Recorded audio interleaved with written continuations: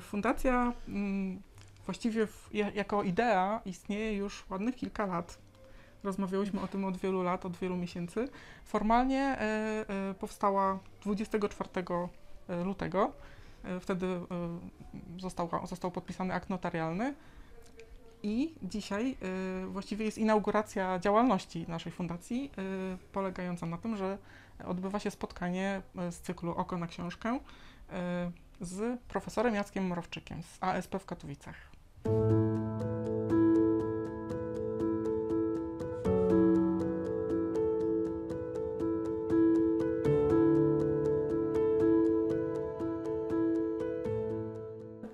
Spotkanie będzie dotyczyło książki, której jestem współautorem i redaktorem, która ukazała się w zeszłym roku, w listopadzie 2023 roku, nakładem wydawnictwa Charakter.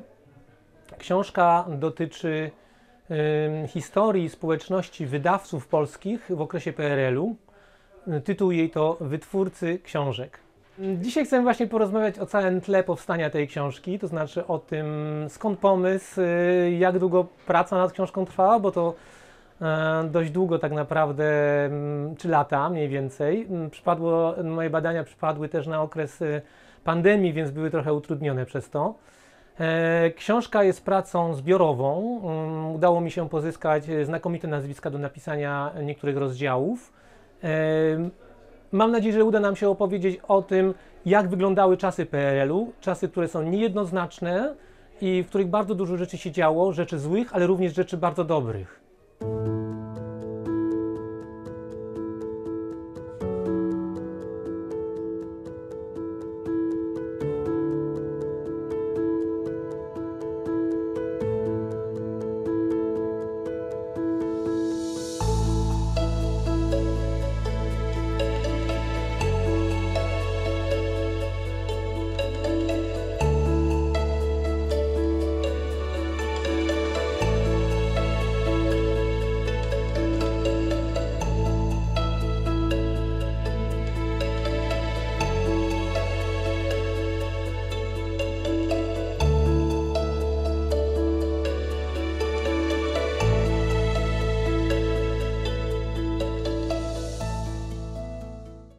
Chcemy doprowadzić do tego, żeby w Gdańsku powstała, powstało Muzeum Ilustracji z prawdziwego zdarzenia. Budynek, zbiory, y, biblioteka, y, wystawy.